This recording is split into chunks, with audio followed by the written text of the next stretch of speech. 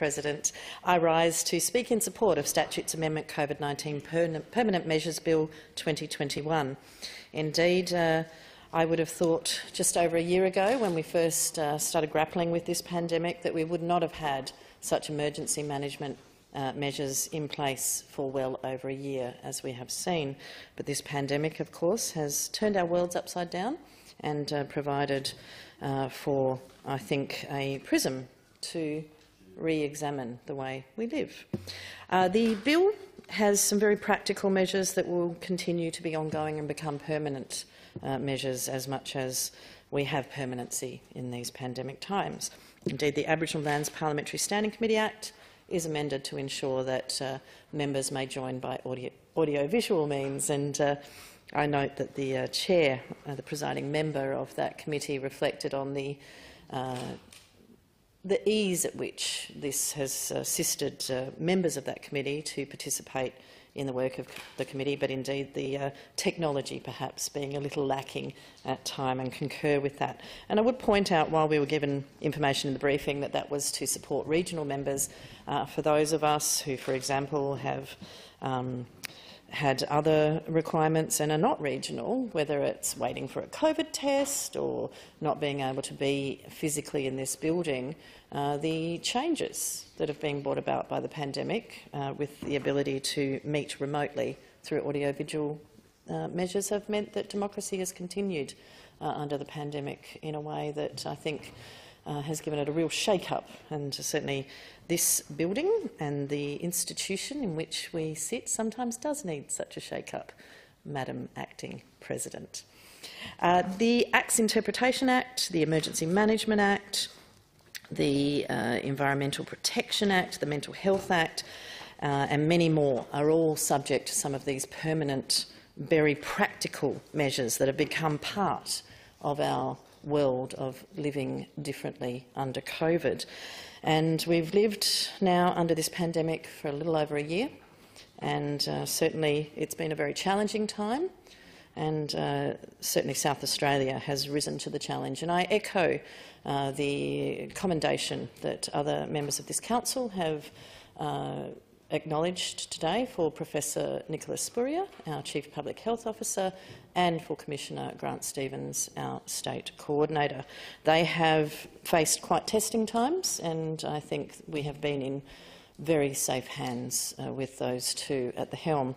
I note that we are technically in a police state however. And the Greens certainly don't find comfort in being in a police state, uh, and I'd certainly rather we were in a public health state. And I note that other jurisdictions around the country don't necessarily have the police commissioner as their state coordinator or equivalent position, and indeed the uh, very uh, specific nature of whatever emergency they face then determines who is the lead agency and person in charge. So certainly from the Greens, in terms of debating the Emergency Management Act, uh, well over a decade ago now. Um, perhaps uh, if we could go back, turn the clock back, uh, perhaps should it have been a public health emergency, it should have been the public health, chief public health officer in charge ongoing. And, uh, for example, if it was a fire emergency, the head of the fire services uh, in charge ongoing etc. But this pandemic has challenged us all. We've been told to stay at home, to stay safe. What that has absolutely made crystal clear is that not everyone is safe at home, and not everyone has a home. Uh, for those who live with family and domestic violence, their homes were not safe, and yet we were forcing them to stay there with very little supports and with increased isolation and often with increased coercion. I've been quite critical of the lack of proactive response and certainly uh, over the period of time that we've had some of the emergency declarations, there has been a lacking understanding of the complexity of domestic and family uh, violence, but I am pleased to say that that is improving as uh, the voices have been heard of those who uh, represent particularly the women's sector and the DV and family violence sectors in those emergency declarations. But of course, under the pandemic, just over a year ago, we saw the Premier declare that no one need be homeless in this city.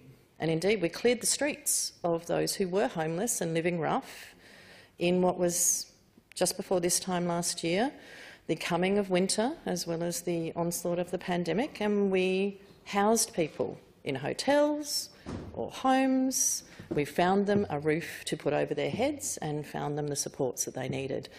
We showed that it can be done, and we showed that the world can change overnight if we simply reprioritise what we think is important.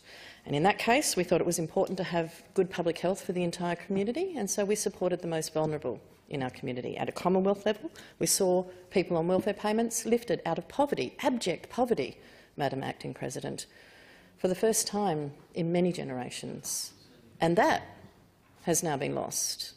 And as uh, should we, like Victoria, face a lockdown situation again, I do fear uh, what will happen with now that lack of support for housing, that lack of a welfare system that has put people above the poverty line rather than plunge them into poverty. And should we need to again be telling people stay at home to stay safe, uh, whether or not they will be safe, whether or not they will be secure, and whether or not they will even have a home, Madam, Madam Acting President. This pandemic is an opportunity to build back better. The Greens have said that in our campaigning work across the country, um, but we have shown that political choices are made as to whether people have homes, as to whether people live in poverty, as to whether people have good access to public health. And it has laid bare one of the tenets of the public health uh, mantra, if you like, that there are social determinants to health. And in this case, those social determinants have very much um, exposed what I would call cracks in our social fabric. Building back better shouldn't mean that we paper over the cracks. We actually have to rebuild and ensure that those cracks that have now been exposed are properly fixed, that people are housed, that people are able to live good and healthy lives, able to afford food, rent, power, utilities and medicine should they need it, education should they need it. And I've got to say that, unfortunately, I think we're heading back into our own our, um, the era of our old ways. While these measures in this bill today are good, practical measures, there is no vision coming from the Marshall government about ensuring people aren't plunged into poverty, aren't put into homelessness yet again. We're seeing rough sleepers on our streets increase at a rapid rate, in fact at a rate higher than I have seen in uh, my adult lifetime in, of living in this city, and I find that to our shame. I note that NRAS expires soon, and I think that there's another cliff of uh, increased rents that are about to hit that somewhat private rental market that was supported by the Rudd era uh, reforms that in increased the ability of uh, people to be uh, paying an affordable rent under that scheme. Now, that is something that we haven't seen a redress for coming from the state government, and I think that is, again, to our shame as a parliament. The real pandemic, I think, Mr President, is coming. That is, we've faced the public health crisis of the coronavirus. We've seen our worlds turned upside down. We've seen, um, you know, shortages of toilet paper in the supermarket, uh, a, a, twist on who really is an essential worker in this day and age.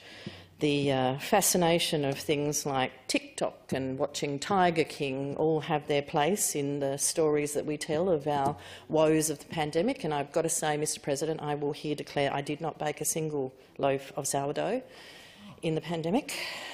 I did eat quite a few. and the Honourable Rob Simms interjects that neither did he, and uh, I've tasted his cooking and I uh, think that that's a very fine thing. Um, but what, what we have seen, though, is through this shared trauma, um, the importance of community, the importance of connection, the reason people have resorted to those things, which uh, I, I, put in a somewhat, you know, humorous and trite way, is because as a community um, we are stronger together, but we have been forced quite often into isolation, and the most vulnerable of us have suffered the most. The pandemic I look on as an earthquake that has shaken the very foundations of our social fabric. But what is the tsunami to come? And the Honourable Terry Stephens raised this. What is the tsunami to come post the pandemic earthquake? Is, of course, a mental health crisis. And I'm often fond of saying that it's not whether your glass was half empty, it's not whether your glass is half full that affects your mental health, it's how long you have been made to hold that glass. And no one can hold a half full or a half empty glass forever. The longer we make people struggle to pay the rent, to afford medicines, to be able to feed themselves, and the harder we make their lives, the more trauma we expose them to, the less likely they are to be able to meet the challenges to come as we transition from this public health pandemic and the mental health crisis to come is what needs our most urgent attention and all of our efforts. The pandemic, as I say, um, is, however, an opportunity to build back better, build more houses, build public, public infrastructure, ensure that we have food and water security in this state to get the basics right of a good social system, a healthy welfare state that will create a healthy population, both physically and mentally. I, for one, look forward to a recognition, uh, as we have seen at various levels of government, of the importance of our public institutions of the importance of public investment and the importance of ensuring that all share in what is, in Australia, in this developed nation, a very wealthy nation. And uh, with those few words, Mr President, I commend the bill and look forward to the second reading committee debate. Calling on Mr Simms.